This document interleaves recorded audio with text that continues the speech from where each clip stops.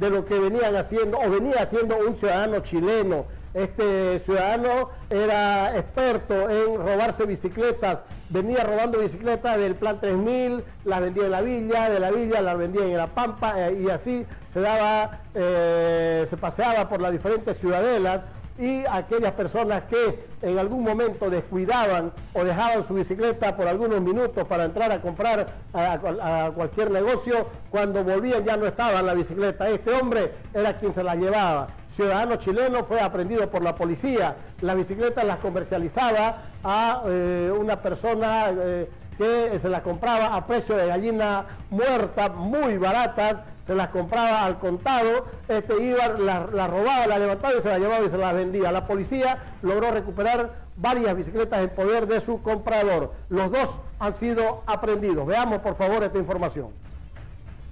Transcurso de la mañana, personal de la FELCC, obviamente a raíz de una denuncia, se tiene esa denuncia, se hacen los trabajos de investigación previa y posteriormente eh, con el conjunto del personal nos constituimos al lugar y obviamente se recupera una cantidad considerable de bicicletas, eh, carretillas y otros objetos que en realidad eran sustraídos por este eh, súbdito extranjero y en definitiva lo tenemos en calidad de aprendido y la intención de la FLCC es justamente sacar de circulación este tipo de personas que en realidad hacen daño a toda la sociedad. Inicialmente, de acuerdo a la información preliminar, tendría antecedentes ex de Palmasola, sin embargo, eso se va a confirmar a través de requerimientos fiscales y información oficial, pero inicialmente tendría antecedentes. ¿no? Eh, tengo a, grosso modo, ¿no? son alrededor de nueve bicicletas, dos carretillas, televisores otros objetos más que han sido recuperados. ¿no? Ya se venía haciendo la investigación previa, sin embargo,